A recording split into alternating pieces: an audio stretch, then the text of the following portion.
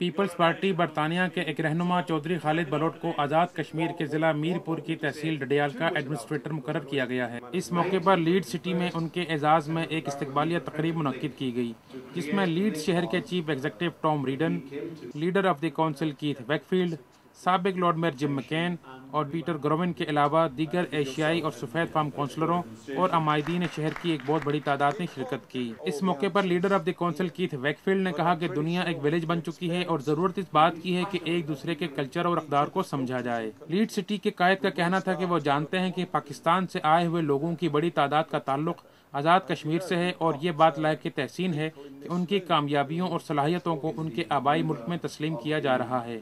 Lead city hall की तकरीब में खिताब करते हुए दीगर सफ़ेद फार्म कौंसलरों ने भी आज़ाद कश्मीर हुकूमत के इस फैसले का खैर मकदम किया। कडियाल के एडमिनिस्ट्रेटर चौधरी खालिद बलोट ने इस मौके पर कहा कि वो बरतानवी जमहूरी माशरे की रवायात अपने मातहत इलाके में परवान चढ़ाने और यहाँ के इंतजामी व तालीमी इदारों की सलाहियतों से अपने मातहत इदारों को मुस्तफ़ करने की भरपूर कोशिश करेंगे। जियो न्यूज़ से बातचीत करते हुए उन्होंने कहा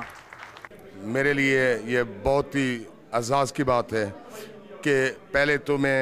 वैसे भी काम करता रहा, लेकिन अभी अल्लाह मियाँ ने ऐसी ज़िम्मेदारी सौंपी है जिसमें मैं वहाँ के तालीमी इदारे जो हैं और वहाँ के जो हेल्थ डिपार्टमेंट है और पुलिस का डिपार्टमेंट है, उनको ऐसा ट्रेन किया जाए ताकि उनका लिंक यूके के साथ मज़बूत किया जाए। जियो न्यूज से बात करते हुए deputy leader of the council Peter Grovan का कहना था I think he will do very well indeed and I think he has the passion for this particular post. He wants to do it and I think as I say he will bring a lot of qualities and values to this job. Ubaid Mughal Geo News Leeds